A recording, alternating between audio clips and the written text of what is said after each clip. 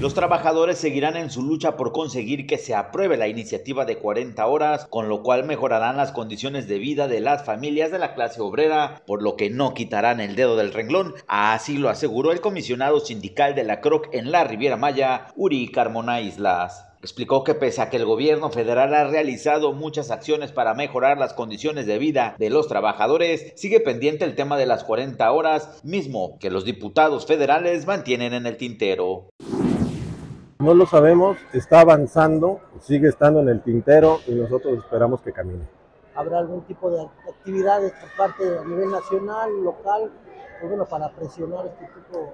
Mm, eh, eh, se puede estar contemplando, pero pues eh, como nos manejamos o nos conducimos de forma disciplinada y simultánea a través de nuestra dirigencia de compañero Isaías González Cuevas, tendremos que tomar acuerdo en función de eso, ¿no? Pero la postura está clara. A lo anterior añadió que la intención con las reformas laborales es que mejoren las condiciones de vida de la clase obrera, con lo cual no solo vivirán mejor, sino que también tendrán un mejor desempeño y rendimiento.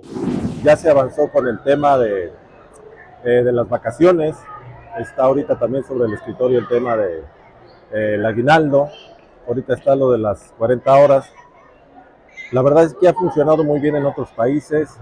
Tenemos que pensar en el tema social también, porque eso genera integración familiar. Que en un destino como este, pues la verdad es que se la pasa trabajando mamá, papá. Y este, al hablar de dos días de poder tener actividad familiar, pues obviamente se está hablando de integración. De forma alterna, si el trabajador no tiene familia, bueno, pues tiene la gran oportunidad de ganar más si es que trabaja un día o dos de los que tienen libres, ¿no? Se genera más ingresos.